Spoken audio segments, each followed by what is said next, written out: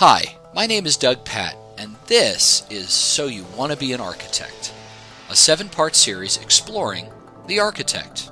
This is Lesson 2 What does an architect make? On the surface, this sounds like a dumb question. An architect makes buildings. But if you look below the surface, you'll see that the answer is much more meaningful. Ralph Waldo Emerson was a well known writer, philosopher, and poet. He said of Greek architecture, quote, It is the flowering of geometry. Translated, Emerson was referring to the Greek architect's elaboration and mastery of shape and form. Anne Louise Germaine de Stael is a little known Swiss author who lived in Paris and abroad. She is quoted as saying, Architecture is frozen music. In simple terms, her comment means that architects make a kind of static harmony of sound. Philip Schaff was a Swiss-born Protestant theologian. He said, quote, Architecture is a handmaid of devotion. A beautiful church is a sermon in stone. Elaborating a bit on Schaff's comment, we can imply that architecture, like a sermon, is also a kind of message or story.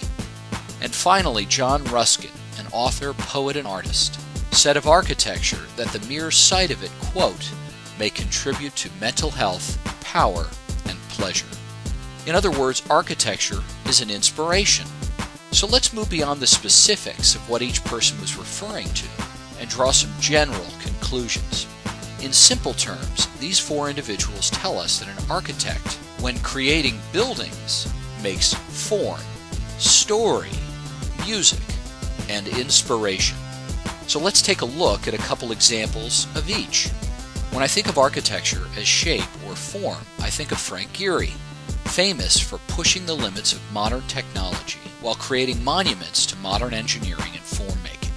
Some examples of this are his museum in Bilbao, the Stata Center, or his Disney concert hall.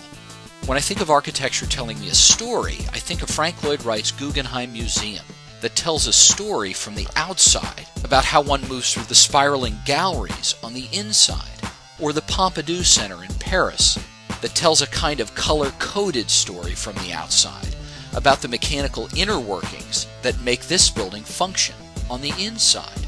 When I think of architecture as beautiful music, I think of the buildings of Eero Saarinen, whose work resembles naturally soaring forms as they strain to hit the high note, or the way Frank Lloyd Wright's Fallingwater harmoniously blends into nature and almost sings with the waterfall it sits above. When I think of architecture as inspiration, I think of the great cathedrals of Europe and the US, or the great skyscrapers of our cities. So while some may think that architecture is just about making buildings, you know that making architecture is about making much more than just a box with windows. Among other things, it's about making form, story, music, and inspiration.